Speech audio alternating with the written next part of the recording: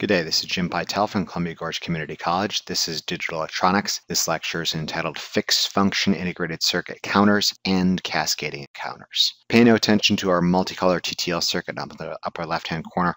What I want to do is just talk about the general description of a counter. So the general vanilla counter, what I've drawn is a very simplified logic diagram right here. What is it? It's a synchronous counter, and I can tell it's a modulus 10 counter because it says CTR counter DIV 10. What does the term modulus mean? It means the maximum number of counting positions. Okay, so when I say modulus 10, what it really means, it counts from 0 to 9 something with a modulus of 10 counts from 0 to 9. What about something with a modulus of 16? It goes from 0 to 15. That is a counter with a modulus of 10. Here is a counter with a modulus of 16. The outputs. What are the outputs? The critical thing, what are we looking for? It's the outputs right here. Those are the ones that go from 0 to 9. Q3, it's the MSB.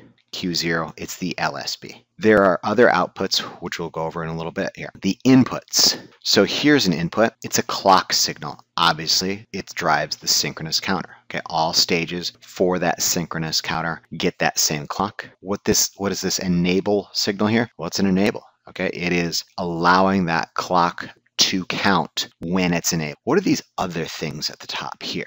Okay, those are data inputs and a load input. Those data inputs, D3, the MSB, down to D0. It's kind of like a preset. And what is the load? Well, that is what you're presetting it to. They're kind of like a combination of presets and clears. Again, this is just a vanilla description of this whole thing here. When the load command is issued, I load something, what that counter does, it takes that D3 to D0 in input and sets those outputs to equal D3 to D0.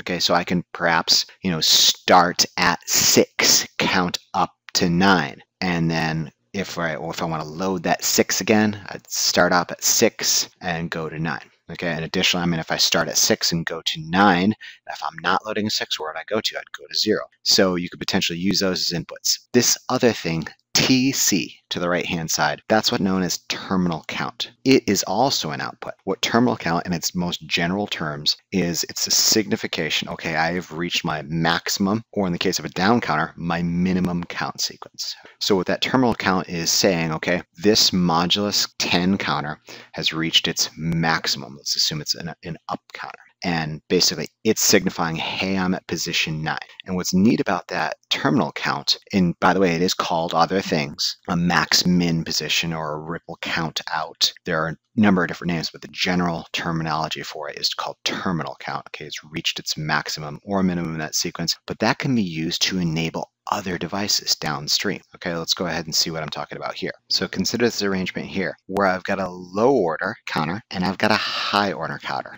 Both of them are modulus 10, meaning the low order will count from 0 to 9 and the high order will count from 0 to 9. What's the advantage of something like this? Well, it's this relationship right here between terminal count and enable. Consider all counters stages are currently at 0. Okay, it's zeroed out. Notice the clock. It is tied to every single one of them. What is the terminal count for the low order counter? Well, it's not reached its maximum, so it's probably low. And it's going to count up on that first clock signal. Notice this high order, it's also getting the same clock signal. Is it enabled? The answer is, is no, it is not enabled because the terminal count for the low order is still low. Okay, what happens the next clock signal? Counts to 2, 3, 4, 5, 6, 7, 8, 9. It has reached its maximum, the low order, at which point the high order is finally enabled and the next clock signal, what happens? Well, what happens is the low order recycles to 0 and the high order is incremented up to 1. If you can imagine what's going on here, and I know this is, we're going to have to read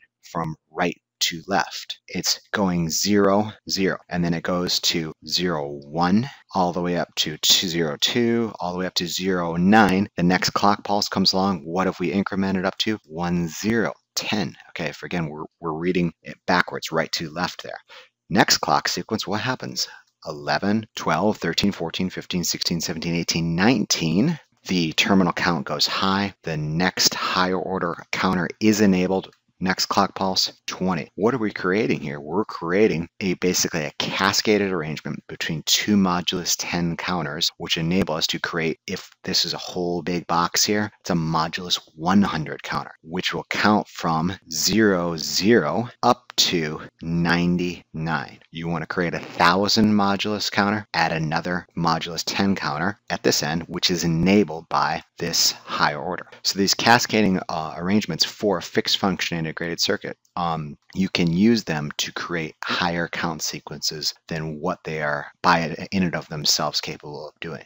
So a quick note about the terminal count signal for a modulus 10 counter. That goes high or is asserted, pretending, you know, it could be an active low signal. Either it could go low. Yeah, drives me crazy too. It only is asserted a tenth of the time. So this clock frequency that's coming in, let's just do a very simple example. It's a 100 hertz clock every 10 times that is asserted. What is the frequency of this? It's 10 hertz and then it is a tenth for this higher order one. It's a tenth of its input enable. So what is that? It's one hertz. So with modulus 10 counters, we are capable of doing frequency division by 10. Whereas previously, if we were stuck with a modulus 16 counter by using those previous stages, Q0, Q1, Q2, Q3, we were limited to half, a quarter, an eighth, 16, basically a power of 2, we could potentially divide our clocks by 10 in this case using a modulus 10 counter. So that vanilla description right there for a counter, um, it's going to serve for a general, uh, general purposes. But let's just talk about some specific counters here. Okay, notice I did not have an up or a down input to this one. There are fixed function integrated circuits that have basically two modes, up mode and down mode. If it's a modulus 10 counter, in up mode, it counts from 0 to 9 and recycles. If it's a modulus 10 counter that's in down mode, it counts from 9 to 0 and recycles, okay, as you would expect. The two fixed function integrated circuits very commonly used is the 74 190 and the 74 191. Okay, the 74 190, it's a decade counter, i.e. a modulus 10 counts from 0 to 9 or 9 to 0, as we'll see. It's an up-down counter. 74 191, it's a 4-bit binary, full sequence once up, down. What's awesome about these things, they have the same pinouts. Okay, now let's go ahead and look at our pinout diagram and all the things in green, those are our inputs. All the things that are in yellow, those are our outputs. All the things that are in pink are things that are make this thing work and without them, they're not gonna work. Pin 8 and 16, obviously your VCC and ground connections. Let's go ahead and look at our outputs. Pin 7, 6, 2, and 3. Those are our count outputs from MSB to LSB. QD, QC, QB, QA. What's pin 12 and 13? That's kind of, it kind of has two terminal count outputs. The max min, it goes high when it is at its maximum in an up sequence. It goes high when it's at its minimum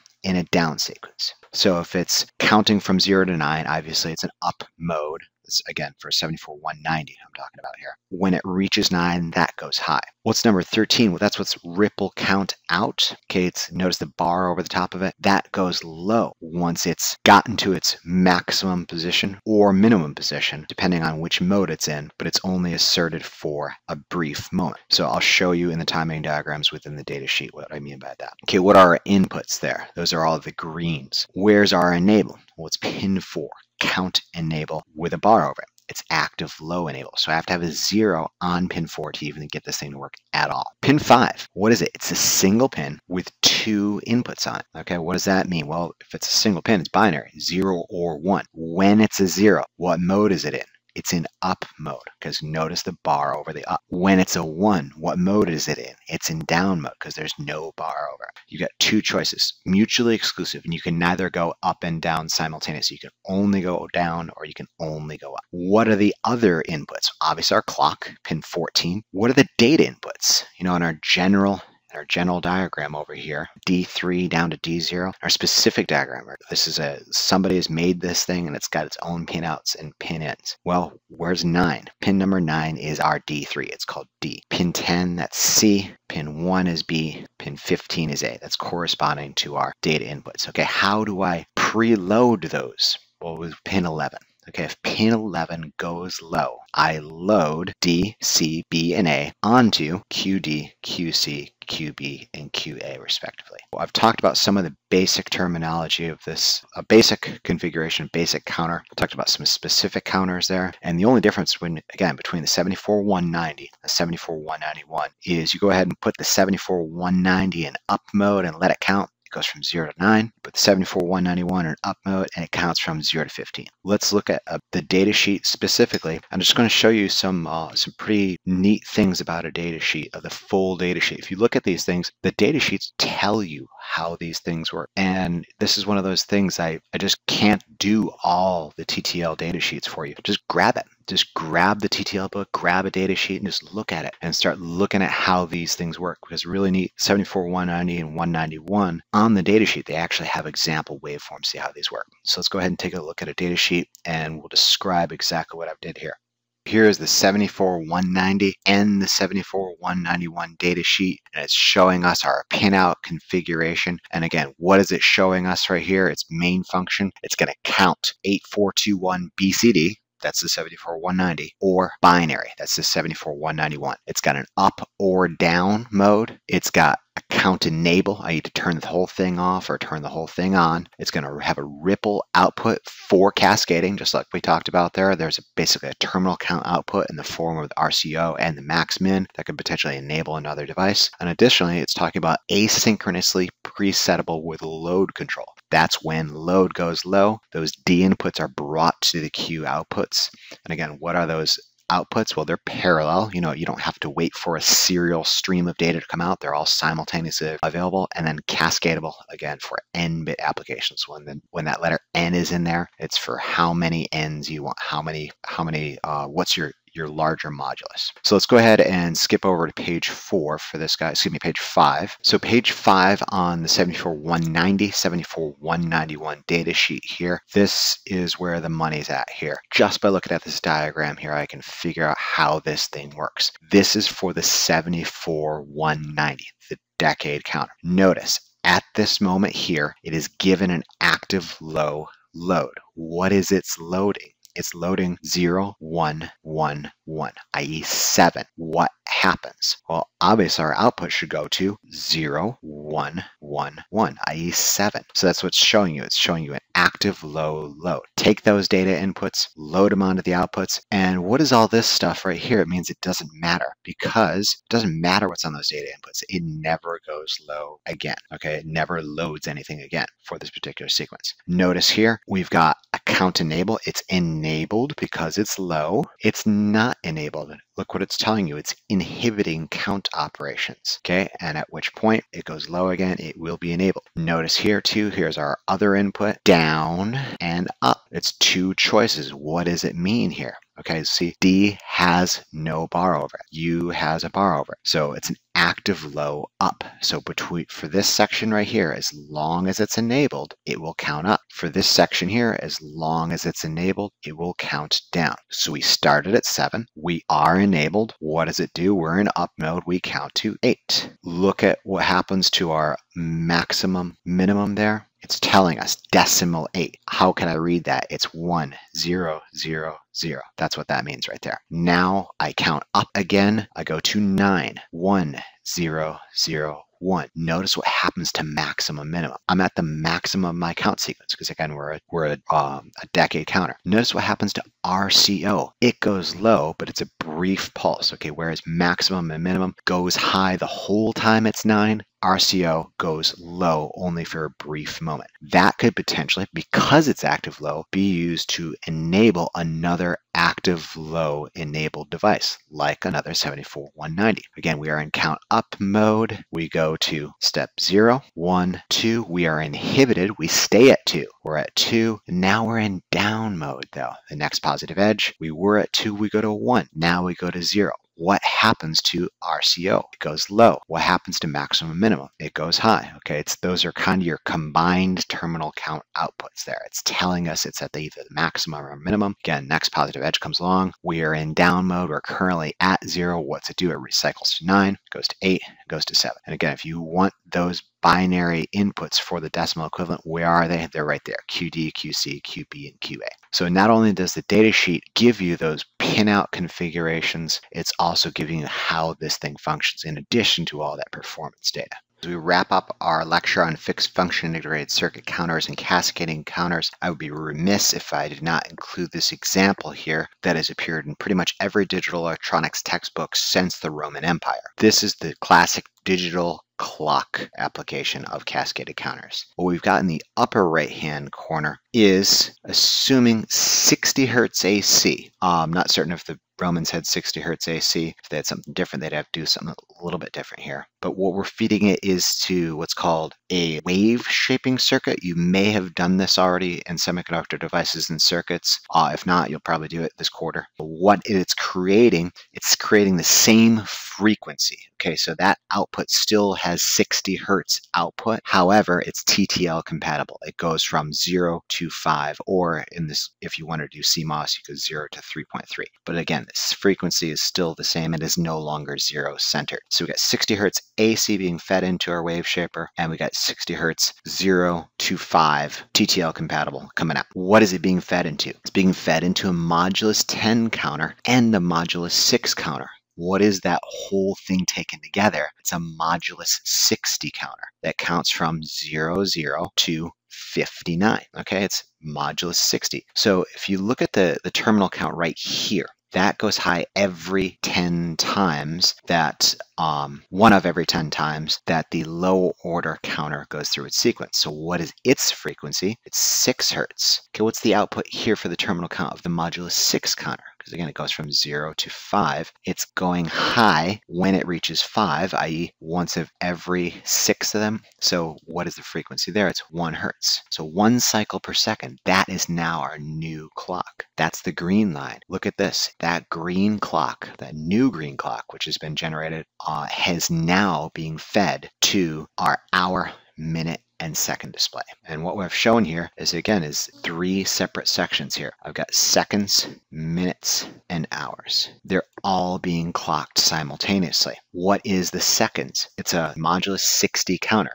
consisting of a 10 and a 6. When that lower order is enabled, the terminal count goes high every tenth of a time, so it counts from 0 to 9, at which time the higher order second is enabled and it goes to 10, 11, 12, all the way up to 20, 30, 40, 50, 59, and then it enables this one. And that first minute is incremented. And same thing, it's a modulus 60 counter. And it goes from 0 to 59, at which point the hour is enabled. And what we've got here is a 24 hour clock example. The only way time should be presented is in 24 hours. What this thing is going to do is going to count up to 24. And then I have not drawn a uh, reset on this here, but it was going to have to go back to 0, 0, 0, 0, 0. What is being presented below here? Well, that is our display drivers and our displays for each individual digit within the hour, minute, and second. And what that's implying is there is the outputs for that stage go to that one into that driver, which goes into a seven segment display. And if we wanted to be especially cunning, we could potentially do a single driver